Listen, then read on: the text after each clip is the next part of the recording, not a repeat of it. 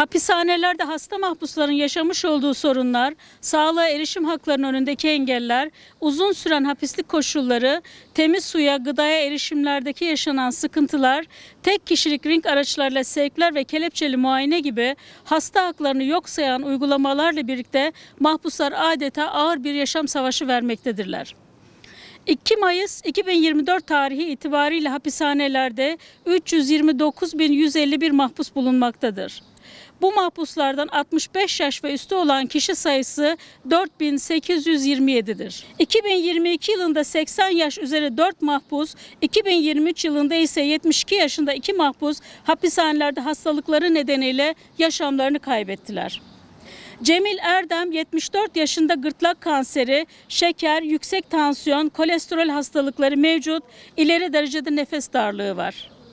Ferzende Elbi 73 yaşında iki böbrekte kist, bağırsak yırtığı, varis, kalp hastalığı bulunuyor. Daha öncesinde anjiyo geçirmiş, işitme engeli olup görme kaybı yaşıyor.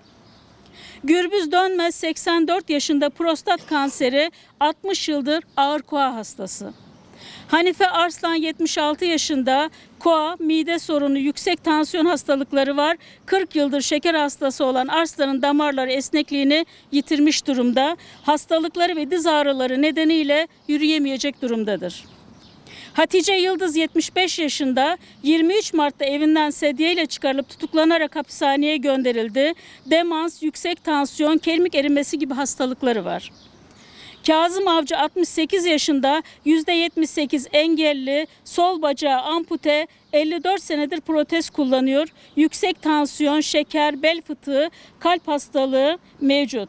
2 Şubat 2022 tarihinde kalp krizi geçirdi. Yoğun bakımda 4 gün yattı. Bel fıtık ameliyatları geçirmiş, felç kalma riski var. Kerim Boran 77 yaşında kalp yetmezliği, diyabet, yüksek tansiyon, koa, astım, prostat, Parkinson hastalıkları var.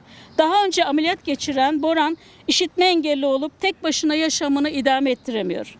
Mehmet Bayram 75 yaşında %97 engelli, böbrek yetmezliği, kalp, yüksek tansiyon, cilt kanseri, Alzheimer, omurga ve eklem ağrıları yaşıyor. Kendi ihtiyaçlarını karşılayamıyor. Mehmet Emin Çam 70 yaşında safra kesesi yok, görme ve duyma sorunları var, çok şiddetli ağrılar çekiyor.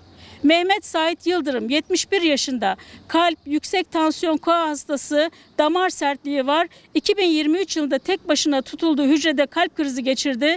2024 yılı başında anjiyo oldu. Sabri Yavuz 74 yaşında hepatit B, prostat, apandis, safra kesesi hastalıkları var. 16 Kasım 2022'de kasık fıtığı ameliyatı olmuştur. Ameliyattan sonra elleri yatağa kelepçeli olarak 2 gün yoğun bakımda tutulmuştur.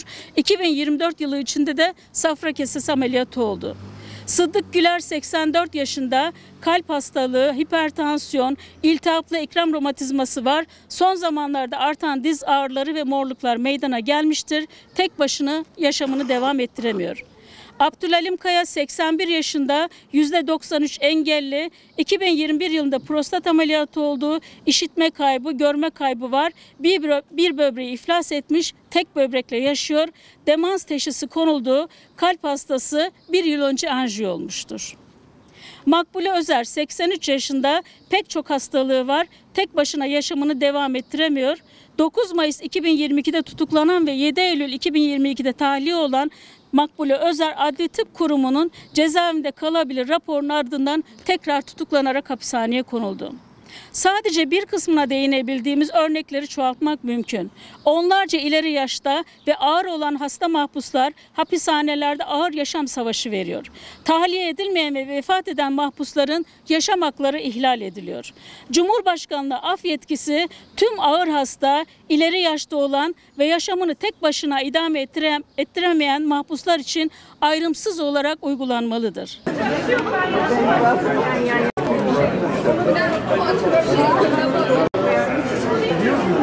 Beşiri T tipi kapalı hapishanesinde tutulmakta olan 72 yaşındaki Mehmet Emin Çam 12 Aralık 2012'de örgüt üyesi olmak suçlamasıyla gözaltına alınarak tutuklanır.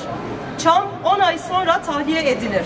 Yargılama sonunda Siirt Ağır Ceza Mahkemesi'nce 9 yıl ceza verilen Çam cezasının Yargıtay tarafından onaylanmasının ardından 14 Mart 2022'de yeniden tutuklanarak Batman M tipi kapalı hapishanesine götürülür.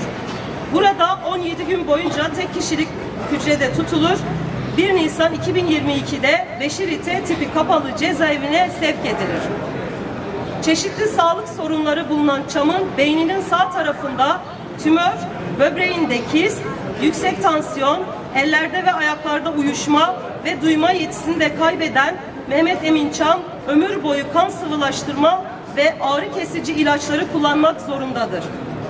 Mehmet Emin Çam'ın eşi Nisan ayında yaptıkları görüşmede eşinin duyma kaybının ilerlediğini, kullandığı cihazın da etki etmediğini, eşinin hastalıkları nedeniyle koğuş arkadaşlarının bakımına muhtaç hale geldiğini, çamaşırlarının dahi koğuş arkadaşları tarafından yıkandığını, hiçbir işini kendisinin yapamadığını, el ve ayaklarının uyuştuğunu, yürümekte güçlük çektiğini, kendinde olmadığını aktarmıştır. Ayrıca 8 Mayıs'ta avukatına 10 gündür prostat sorunu başladı. Revire gittim, hap yazıp gönderdi. Verdikleri ilaçları kullanıyorum. Günde 10 defa lavaboya gidiyorum. Böbrek sorunum da var ve bütün ağrılar birleşiyor. Dayanamayacak duruma geliyorum. İlaçlarda artık etki etmiyor dediğini aktardı. Babamla iki hafta önceki görüşmemizde ise hastaneye seni götürüyorlar mı diye sorduğumda kızım ben hastaneye gitmek istemiyorum. Yapılan rencide edici, rencide edici aramadan kaynaklı gitmeme kararı aldım. Ağız içi arama ve çıplak aramadan kaynaklı gitmek istemiyorum dedi. Ailesi olarak 72 yaşındaki bir insanın bu kadar hastalıklarına rağmen hala dört duvar arasında tutulması insani ve vicdani bir durum değil. İçer